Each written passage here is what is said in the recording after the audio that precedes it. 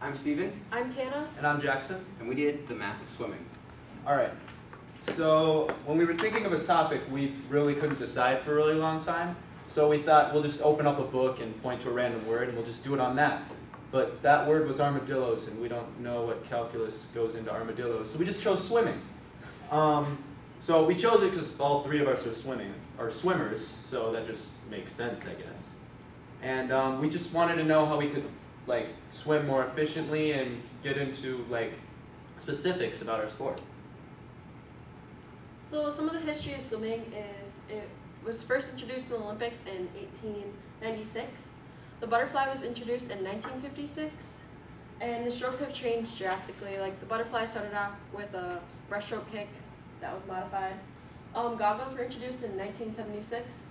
They were called Clearview swimming glasses. They are clear.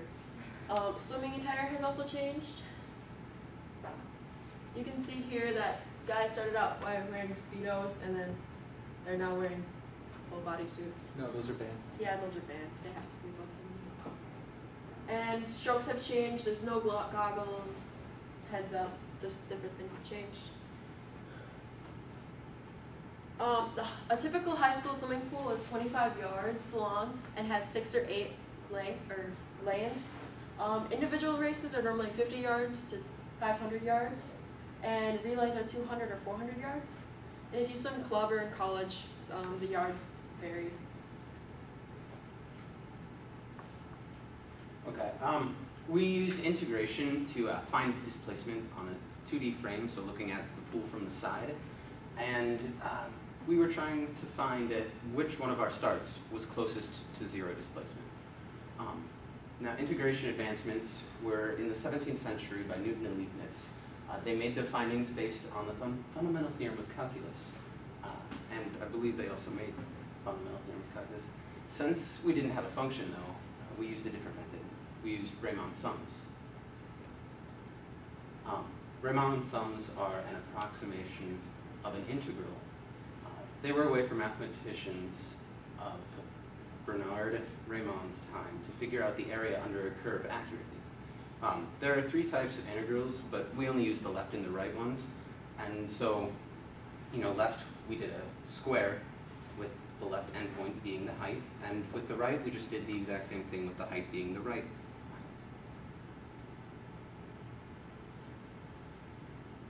Okay, I believe we already described this, but I'll do it again. Uh, we were looking for the zero displacement in a start and see which one of us had the best start. Now, traditionally, we'd all dolphin kick after we hit the water, but for the point of this experiment, we didn't, to try and get better data. So here are just examples of each of our start, if Jackson will play the videos for us. I wasn't trained in this. There you go. This is Jackson's site. Yeah, so you can see here, as it'll come back, it's a nice kind of sine wave, so it was relatively easy to figure out. You can just hear the little. Anyway, um, next slide. And then this would be Tana's.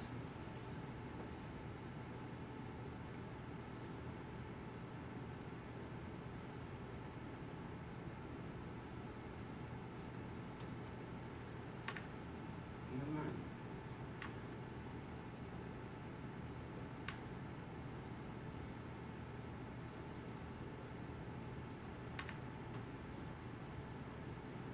Okay, so we went home and then wrote this on a big whiteboard that way we could give you pictures and see what it was doing.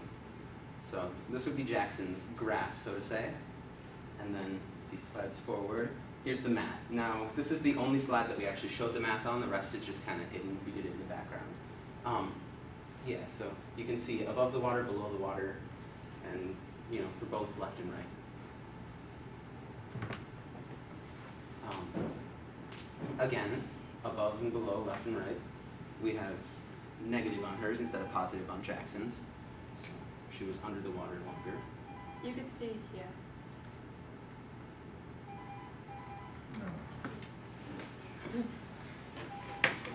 Okay, and then on mine, again, we did left and right. You can see here, though, that my numbers are closer to zero than either of the before. So, of course, sadly to say, I am the winner. but if we move forward, do you want to freestyle? Um, next we wanted to see how efficient or not fast our 200 swim freestyle races. Uh, this is a distance between sprinting and swimming distance for high school, so it's hard to pace it. Um, we asked a couple of our swimmate, swim teams, swimmers, Eric and Dylan to be our test subjects. So we had them swim three different ways. Um, you, so we used velocity, which is distance over time, and after that, we simply solved the acceleration of the boys and then kinetic energy that they had. Completeness? Yeah. So here's an example of how you can swim two different races. I'm in this lane, and there's a girl right here who started out a lot faster. You can see that she's pulling ahead. It's kind of a long so fast forward. Goes up to No. Oh, this is good. So you can see right here, this is right after the 100. I'm starting to catch up and start starting to faster. Sorry about the video.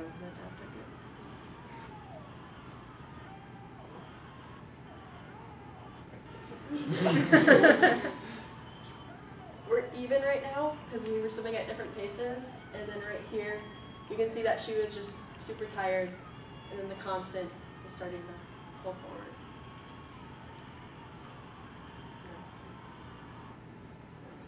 It's kind of well math. Yeah. okay. That's Um, yeah. In 1666, Newton described velocity for the first time in his three laws of motion. He described that change in velocity is what determines whether or not an object changes motion. Newton describes a change in velocity over time as acceleration. And kinetic energy was first introduced by Leibniz Leibniz when he described kinetic energy as the living force. Kinetic energy was defined as the energy of a moving object by the Greeks around 347 BC. Leibniz determined that the energy a moving object obtained was proportionate to what it was capable of accomplishing. So like if you drop something off of a cliff into water, farther it drops, the further underwater it goes. That's all that that's really saying.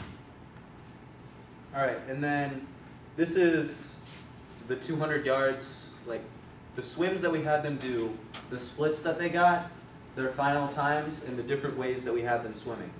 So if you look at Dylan's splits, like his total times are about all the same, but his splits are all like very different. That's because we had him swim different styles for it, like sprinting the last half.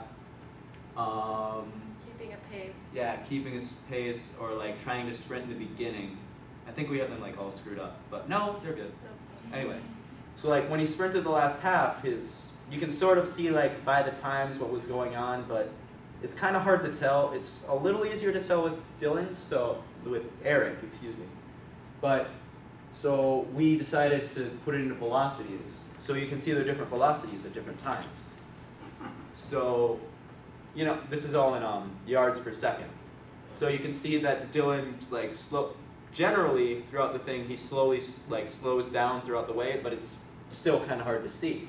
So we put it into acceleration, and now it's just it's really easy because you can see once it's negative, that's him slowing down, and if it becomes positive, that's him speeding up.